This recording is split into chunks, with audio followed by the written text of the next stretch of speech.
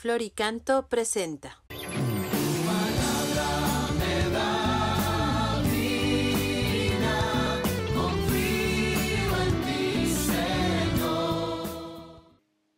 En el nombre del Padre, del Hijo y del Espíritu Santo. Amén. Palabra de vida. De el Santo Evangelio según San Mateo, capítulo 13, versículos del 18 al 23. En aquel tiempo Jesús dijo a sus discípulos, Escuchen ustedes lo que significa la parábola del sembrador. A todo hombre que oye la palabra del reino y no la entiende, le llega el diablo y le arrebata lo sembrado en su corazón. Esto es lo que significan los granos que cayeron a lo largo del camino. Lo sembrado sobre terreno pedregoso significa al que oye la palabra y la acepta inmediatamente con alegría. Pero como es inconstante, no la deja echar raíces y apenas le viene una tribulación o una persecución por causa de la palabra y sucumbe. Lo sembrado sobre los espinos representa a aquel que oye la palabra, pero las preocupaciones de la vida y la seducción de las riquezas la sofocan y queda sin fruto. En cambio, lo sembrado en tierra buena representa a quienes oyen la palabra, la entienden y dan fruto. Unos el ciento por uno, otros el sesenta y otros el treinta. Palabra del Señor. Gloria a ti, Señor Jesús. Bueno, una pregunta que yo te haría es, ¿qué tipo, habiendo escuchado esta parábola, qué tipo de tierra eres tú? ¿Eres tu corazón está duro? Y cuando yo digo duro, bueno, ciertamente hay algunos que, por ejemplo, mienten con toda desfachatez, que son cínicos, ¿eh? Algunos que gobiernan el mundo así son. Eh, yo creo que hemos sabido también de personas que son estafadas por gente que es mentirosa. Su corazón es duro, no se compadecen de los demás. El otro día veía el de una persona mayor que fue arrojada de su casa por sus propias hijas y es la segunda vez que lo hacen. ¿eh? Eh, ha habido gente que ayuda a esta señora mayor, pero en fin, sí, sí, sí, hay quienes tienen el corazón duro. Seguramente que podríamos estar hablando de personas que fueron bautizadas, ¿eh? Y entonces cerraron su, corazón a la palabra de Dios. Ahora imagínate aquellos que ni siquiera aceptan a Cristo y lo rechazan.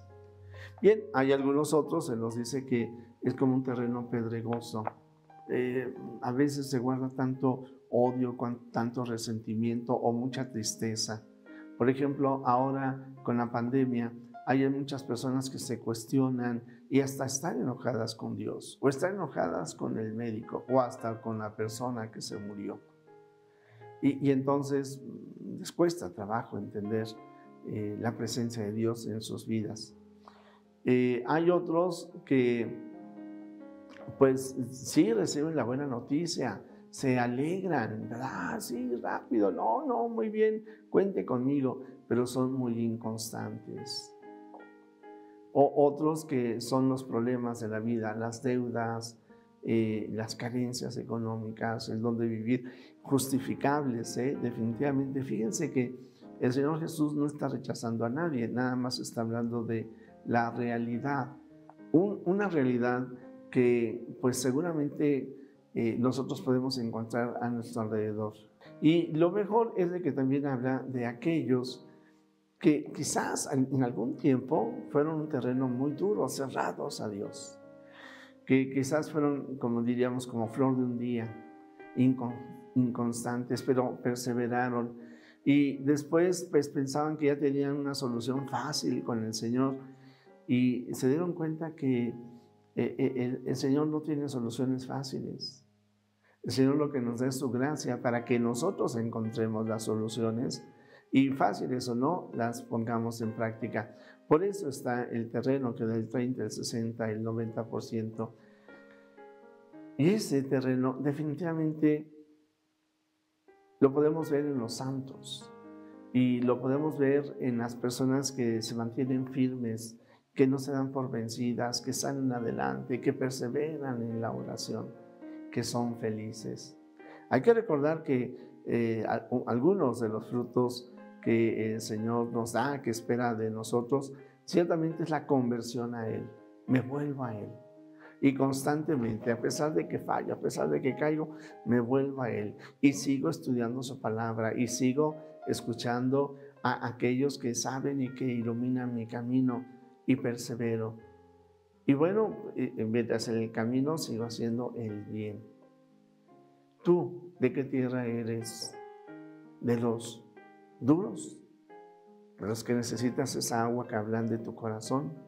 ¿De los llenos de rocas? La gracia de Dios que quita los pecados y todos los odios y los resentimientos. De los inconstantes para que iluminado por el Espíritu Santo te mantengas firmes. De aquellos que se abren a la alegría de recibir a Jesús en su corazón y lo comparten con los demás. Tú eres el que tienes que elegir qué tipo de tierra tú eres ante la palabra del Señor. Jesús, que todos te conozcan y te amen, es la única recompensa que quiero. La bendición de Dios Todopoderoso, Padre, Hijo y Espíritu Santo, descienda sobre ti, sobre tu familia, sobre México y el mundo entero.